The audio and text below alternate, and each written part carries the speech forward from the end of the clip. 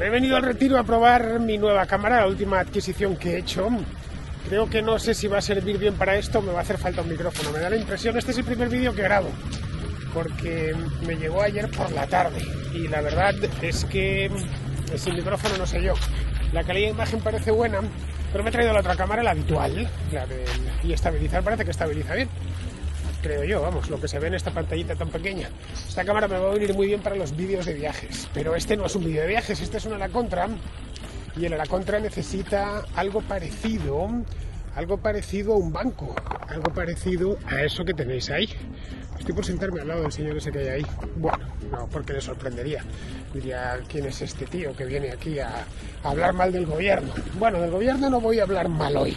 Hoy voy a hablar no necesariamente bien del Centro de Investigaciones Sociológicas de nuestro querido amigo José Félix Tezanos, que no es la primera vez que pasa por el la contra, pero eso lo haremos, lo haré, mejor dicho, ahora, en cuanto me siente ahí en ese banquito o en otro que encuentre, porque hojas me da la impresión que se me van a caer seguro. Pero eso sí, antes tengo que cambiar de cámara. Ya he encontrado el banco, un banco en un sitio perfecto. Esto es lo bueno del retiro cuando se viene entre semana, que uno puede disfrutar del parque, por lo menos de esta zona que es la Alameda, en casi casi como si lo hubieran puesto para, para uno solo. Para uno solo y su bicicleta, que la tengo ahí aparcada. Bueno, aquí tengo un banco, un banco discreto. Le preguntaba al señor ese que veíamos antes eh, si le molestaba que me sentase ahí a contar a mis contraescuchas eh, cómo José Félix Tezanos es un poco una vergüenza nacional. No sabía quién era José Félix Tezanos. Bueno, no, en serio, por supuesto no le he dicho nada. Bancos hay más que lo longaniza hoy y no había problema. Bueno, a lo que íbamos. Os comentaba antes eh, que os iba a hablar de José Félix Tezanos, al que seguramente muchos de vosotros conozcáis, porque sois españoles, leéis la prensa y, en fin, todas estas cosas que uno sabe cuando está al, cabo de la calle, ¿no? que se decía antiguamente, cuando uno está al, al día con las noticias. Bueno, ayer creo que fue ayer, y si no fue ayer fue anteayer, estamos a miércoles, ¿no? Bueno, pues creo no sé si fue el lunes o el martes, salió un sondeo del CIS, el barómetro, que lo sacan todos los meses, el barómetro electoral. Es un sondeo que hace el Centro de Investigaciones Sociológicas, un mamotreto estatal que yo nunca la verdad me he explicado y lo he dicho muchas veces por qué tiene que haber un centro, una demoscópica pública estatal, cuando hay un montón de ellas privadas muy buenas y con mucho prestigio. Pero bueno, esto existe ahí desde siempre y los gobiernos lo utilizan en su beneficio, todos los gobiernos. Pero es que este gobierno, el de Pedro Sánchez, ha hecho del CIS eh, directamente una caseta de la Feria de Sevilla. Bueno, ¿qué digo? Una caseta de la Feria de Sevilla es un lugar muchísimo más serio y con menos guasa que, el, que lo que ha convertido este hombre el CIS. Bien, pues decía este barómetro, estuve echándole un vistazo, que este según, según los, lo que entrevistó a lo largo de... Bueno, creo que terminó el 12 de octubre, el día del abucheo. Vamos, terminó la encuesta. Y sí, pues, le, le, ha dado tiempo, la cocina ha sido un chup chup, una cosa a fuego lento durante unos días y y lo, lo, hizo público ahora, justo una semana después. Bueno, pues eh, los españoles, extrapolando, evidentemente no nos lo ha preguntado a todos, pero extrapolando las encuestas que han hecho, los sondeos de opinión, de intención de voto exactamente, eh, si las elecciones se celebrasen ahora las ganaría el PSOE. Y no las ganaría así de cualquier manera, las ganaría por una mayoría holgada de cuatro puntos sobre el Partido Popular. De hecho es curioso porque las del mes pasado, el barómetro del mes pasado, el barómetro de septiembre, ya daba la victoria al al PSOE, pero se la daba por un margen mucho menor. este, este mes ha crecido, creo que es tres puntos y medio, una auténtica barbaridad de un mes a otro en el que las cosas no han mejorado especialmente, ni para el país, ni para el gobierno, ni para el propio Pedro Sánchez, que como os decía se comió un abucheo general el pasado día 12 de octubre. Pero bueno, ahí podríamos decir, eso no dejó de ser una... No, pues los que estaban en el desfile ese día, y no tiene por qué ser eh, representativo de la sociedad española, pero vamos, que cada vez cuesta más encontrar a alguien, no ya que hable bien del gobierno, eso es poco menos que imposible, a no ser que viva del gobierno, sino que directamente no ponga un mohín de desagrado cuando le sacas a, a colación el gobierno. La mayor parte de la gente afortunadamente no piensa en política, está sus afanes y a sus temas. Y claro, lo que, lo que tiene que vivir ahora pues es la inflación por las nubes, todo está carísimo, eh, hay temores además de que este invierno Eh, no solo que esté todo más caro, sino que además vamos a tener eh, un, un, invierno en el que pasemos frío, cosa que en España está más que olvidado. Luego ya veremos si es hasta qué punto pasamos frío. Bueno, yo pasaré frío seguro, pero yo paso frío todos los inviernos, aunque sea el invierno más cálido del siglo. Pero bueno, que la cosa no está bien. No hay un ambiente, no se nota, mm, no lo sé en otras ciudades, pero desde luego en Madrid no sé, que es una ciudad de por sí muy alegre. Se nota cierta, mm, cierto desencanto con la política. Entiendo que en otras partes también. Vamos, que el, el gobierno además lleva ya casi tres años, bueno, más de tres años, este gobierno lleva cuatro años, pero desde las últimas elecciones son casi tres años. Eh, cuatro años los hizo en el mes de junio. Y cuatro años no pasan en balde, cuatro años le desgastan a cualquiera.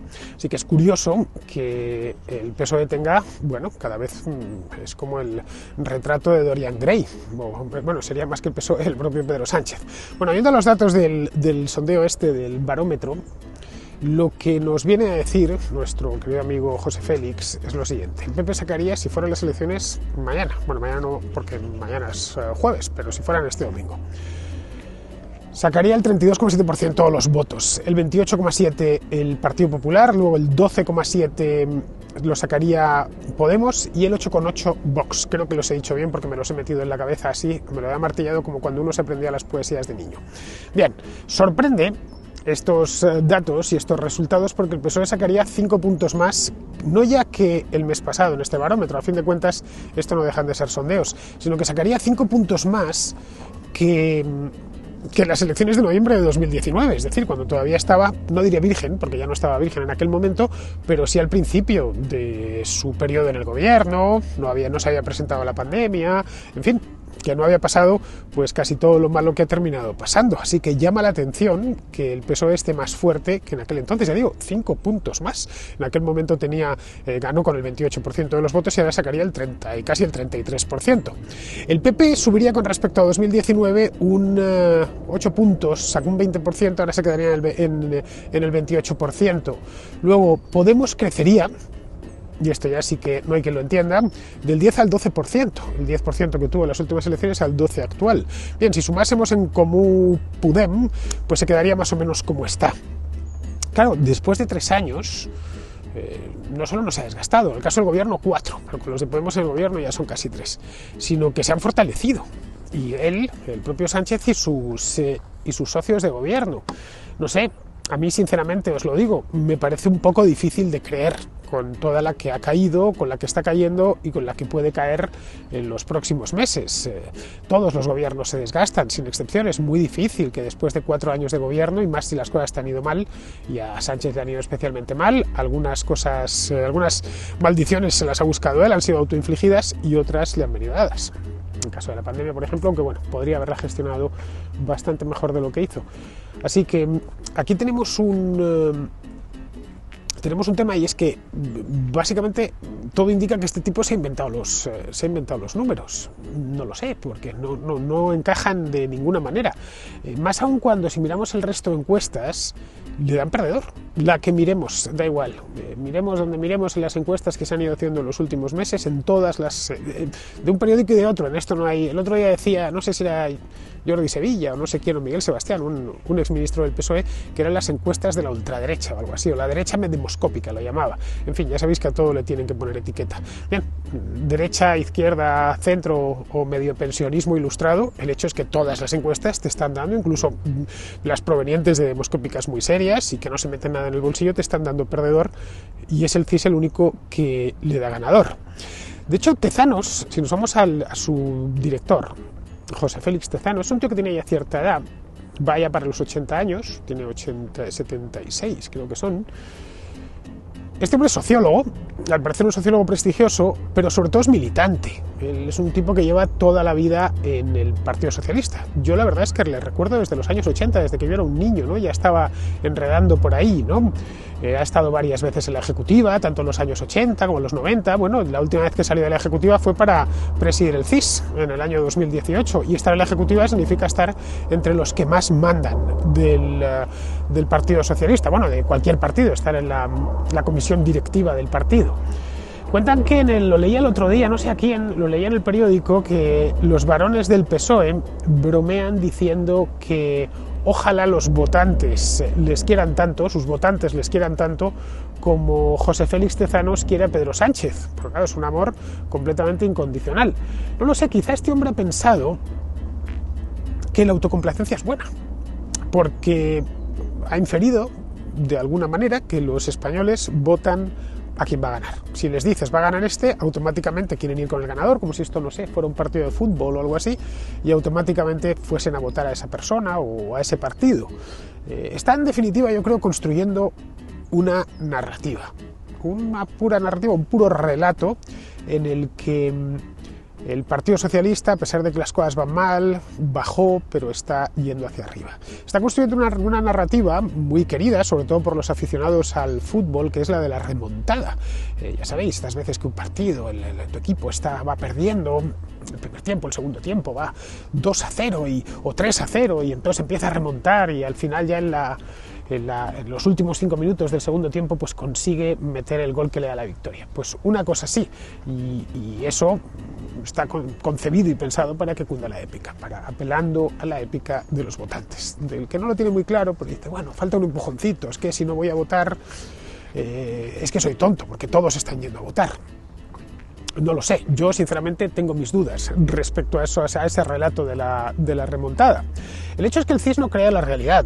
El CIS, en todo caso, como cualquier demoscópica, lo que hace es observarla, a ser posible de la manera más eh, eh, justa y honrada posible, y, e interpretarla. En eso consiste una, una, demoscopia. De hecho, demoscopia significa eso. Viene del griego demos, pueblo, y de escopio, que significa mirar, el que mira al pueblo. Y a partir de ahí saca conclusiones. Como no nos puede encuestar a todos, porque eso serían directamente unas elecciones, pues lo que, lo que hacen es que entrevistan a unos cuantos, te preguntan, ¿y usted a quién va a votar? Y eso luego lo, lo extrapolan. Vamos, conocemos bien cómo funciona la demoscopia y cómo funciona la sociología en este aspecto. El CIS de Tezanos, en este caso, Mm, parece que no observa la realidad y que tampoco la interpreta, que directamente la, se la está inventando. Vamos. Ni, sin más ni más. Dice, bueno, como no me interesa lo que hay, pues me lo invento. Y claro, vivir en una realidad paralela tiene sus eh, riesgos evidentes. Esto sucede en todos los ámbitos de la vida, pero en el de la política no es, eh, no es una excepción. Porque al final, si te dedicas a vivir en una realidad paralela y tal, lo único que consigues es autoengañarte, porque te estás engañando a ti mismo, no estás engañando a otros. De hecho, al Partido Socialista ya esta realidad paralela tezanesca le jugó una muy mala pasada en, en, las elecciones de Madrid del año pasado, de mayo, el 4 de mayo de 2021.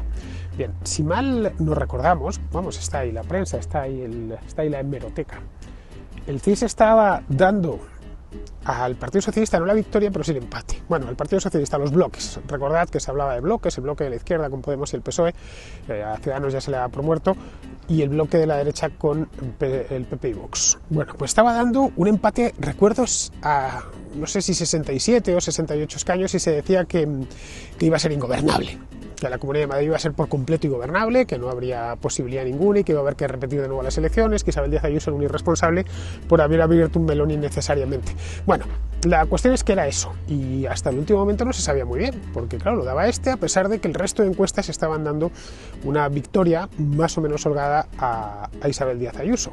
Bueno, al final, los madrileños fueron a las urnas, votaron, que esa es la encuesta definitiva, y resultó que Isabel Díaz Ayuso estuvo a punto de lograr ella sola la mayoría absoluta. No sé a cuánto se quedó, creo que a tres escaños, una cosa así. Creo que tiene 65, si mal, si mal no recuerdo. Y si no son 65, serán 64 o 66, pero por ahí le anda. Vamos, que de 68 empate nada si, la dejan a esta mujer tres días más, saca la mayoría absoluta. Así que no lo sé, sinceramente, Tezanos, ¿en qué estabas pensando en aquel momento? Eh, entonces se disculpó y dijo que no tenía la culpa, que era lo que le daban a él los datos y tal y cual, y que, bueno, pues su, metodología, fuese la que fuese, bueno, ha dicho, luego os cuento cuál es su metodología, porque tiene un nombre, tiene un nombre digno de ser, de un, uh, politiqués, yo diría que perfecto.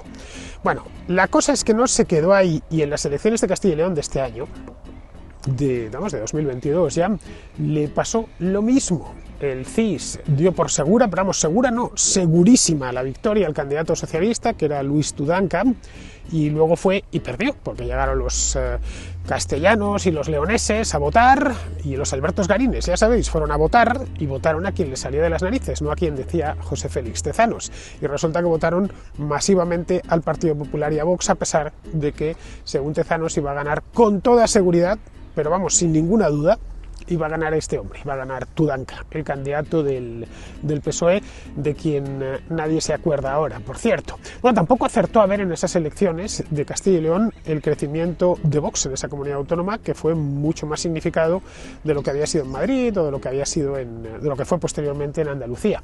Así que, como os decía antes, lo de apelar a la complacencia, mm, no sé yo, ¿eh? No sé yo hasta qué punto eso funciona transmite, yo creo, un mensaje engañoso a los, eh, a los militantes, a los votantes, a los simpatizantes, a los que tienen alguna intención, aunque sea remota, de votarte. Porque dicen, bueno, si ya vamos a ganar, ¿para qué voy a perder yo el domingo?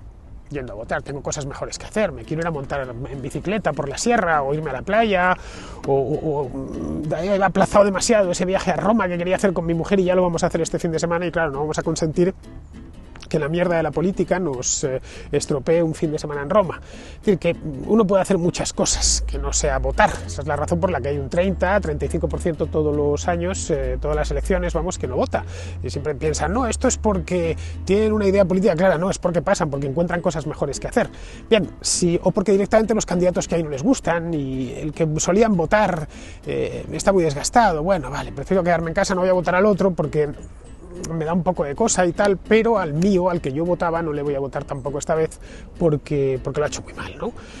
Así que si tú transmites ese mensaje de complacencia, el, tu votante que está dudoso, que estaba dudando entre eso, irse a la playa o ir a votar, pues es posible que se vaya a la playa, porque total van a ganar de cualquier manera. Tezano se equivoca tanto que muchos sociólogos se han preguntado realmente cómo hace las encuestas y cómo las procesa. Es decir, cuál es, como os decía antes, la metodología, ¿no? Bien, el otro día la desveló, sacó en una rueda, no, no fue una rueda de prensa, esto creo que fue una nota de prensa que sacó el, el, Centro de Investigaciones Sociológicas, una pues a petición de muchos que decían, pero bueno, este hombre que se equivoca tanto, eh, ¿qué diablos eh, eh, hace? ¿Cómo lo hace? ¿Qué, ¿Qué, método utiliza? ¿no? Bien, su modelo se llama modelo bidimensional inercia e incertidumbre alaminos tezanos. Repito, modelo bidimensional inercia e incertidumbre Alaminos, no Aladino, que podría ser también el Aladino, no, Alaminos Tezanos. El, el, Alaminos, pues supongo que será un sociólogo colega suyo, ¿no? No lo sé, quizá él... Um, es posible, es una hipótesis, ¿eh? es una hipótesis. Quizá el, um, el modelo bidimensional lo de bidimensional, no sé, yo claro, de sociología no sé mucho, entonces no sé qué será. Los hay tridimensionales y, no sé, cuatridimensionales. Los hay unidimensionales también, porque es bidimensional. Lo de eh, inercia e incertidumbre ya no lo sé. La inercia, bueno, sé más o menos lo que es la inercia cuando vas en la bici y dejas de pedalear, de pedalear sabes que te empuja la inercia, ¿no? Lo de la incertidumbre es pues que no sabes si se te va a pinchar una rueda, que siempre a veces, bueno, pues sucede, ¿no? Va, ¡Pum! Adiós. Y tienes que irte con la bici empujando a la casa. No lo sé. Esto de verdad haría bien. Eh, podría hacer hasta un libro, ¿no? Mira, con que se la comprasen los militantes, ya habría hecho una edición, una edición muy bien vendida. Tendrían, eso sí, que obligarles. Porque comprar un libro que se titula Modelo bidimensional, inercia e incertidumbre, laminos tezanos, bueno, pues eh, yo creo que cualifica como tortura china, bueno, en este caso tortura tezanesca. No lo sé, quizá el modelo este, el bidimensional, consiste en mirar, qué sé yo, los pozos del café o algo así, ya sabéis, estos adivinos, ¿no? Que, miran los pozos del café y te, adivinan el futuro, ¿no? o mirar una bola de cristal directamente, la tiene en el despacho, pues mira y dice, bueno, yo creo que esto va a salir así, es una bola de cristal muy precisa y con microchips y cosas así, una bola de cristal moderna, no la de los cuentos. Y entonces les da, pues le da 32,7, ¿no? 8,8%.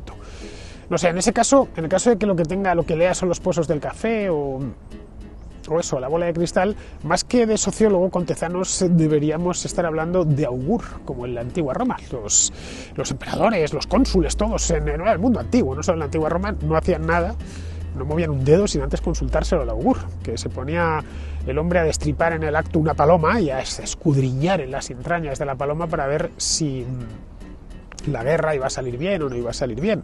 Bueno, pues yo creo que sería incluso más fiable. ¿eh? Lo de matar a una paloma para abrirla y, en fin, desentrañarlas, más nunca mejor dicho lo de desentrañar, desentrañar las intenciones de votos de los eh, españoles en los intestinos de la, de la paloma no me parece bien porque hay que matar a la pobre paloma, que no tiene ninguna culpa. Pero lo de la bola, o lo de los pozos del café, yo como me tomo dos o tres cafés al día, le puedo ceder hasta las tazas para que lo mire bien. El, problema es que es un augur que nos cuesta dinero, porque claro, si esto lo estuviera haciendo una empresa privada, pues fenomenal, bien, ¿vale? Si quieren tirar el dinero y quieren crear, en fin, cosas peores se han visto, ¿no? Ahí tenemos un montón de empresas privadas que venden cancamusa y que venden eso, puro humo. Pero en este caso es un humo que estamos pagando todos y bastante bien, que eso no cuesta, no cuesta barato. En fin, eh, como os decía antes, es un hombre que, más que trabajar para el CIS, para el Centro de Investigaciones Sociológicas, trabaja para el partido que es lo que Tezanos ha hecho, y ahí está su biografía, Hechos son amores, lo que ha venido haciendo este hombre durante toda su vida. Bien, queridos, pues aquí termina la, la contra de hoy. Ya creo que no me queda nada más que contaros. Ha sido un placer teneros aquí. Yo voy a seguir probando mi cámara porque, bueno, pues porque es nueva, Ayer fui a buscarla y la verdad es que no pude probarla porque era, me avisaron de la tienda que me había llegado ya y no pude, no pude probarla porque no había luz. Bueno, la probé un poco en casa y tal, pero claro, era horroroso. Estas cámaras pequeñas no tienen, eh, no tienen muy buena, tienen sensores muy enanos como esta de aquí, ¿no? Y esta es más pequeña todavía, es un cubito, pero me permitirá ponerla aquí en la bici, que esta ya sabéis que cuando la llevo en la bicicleta a veces se queda el estabilizador de lado y claro, os doy un paseo de a lo mejor tres minutos con, con el plano así, entiendo que muchos abandonéis el canal corriendo, yo eso no lo puedo consentir. Y luego esta además es más delicada, sobre todo sobre todo por el estabilizador, así que pensé que para viajes, para ciertos contenidos, estos vídeos que hacemos... Em, que hacemos Alberto y yo, pues eh, me, hacía falta otra, otra cámara, otra cámara que fuese algo más pequeña y sobre todo que se le pudiesen conectar dos micrófonos. En esta solo puedo conectar uno. Ya sabéis que estamos Alberto y yo y se, o se me escucha a mí o se le escucha a él porque uno de los dos tiene el micrófono y esta que he pillado se le pueden poner dos micrófonos, pero los micrófonos todavía no los tengo. Los he pedido pero no me han llegado. Creo que me llegarán la semana que viene, después de que vuelva de Zamora. Igual, con suerte, si el audio es bueno, tengo que mirar lo que he grabado antes igual um, me la llevo a Zamora para hacer ahí el primero de los vídeos, pero depende del audio. Ya sabéis que en una producción audiovisual importa tanto lo que se ve como lo, que se oye. Por algo se llama audiovisual. Bueno, pues aquí en, el, en este retiro ya otoñal, iba a decir preotoñal, de preotoñal nada, otoñal completamente, me despido de vosotros. Hasta el próximo a la contra.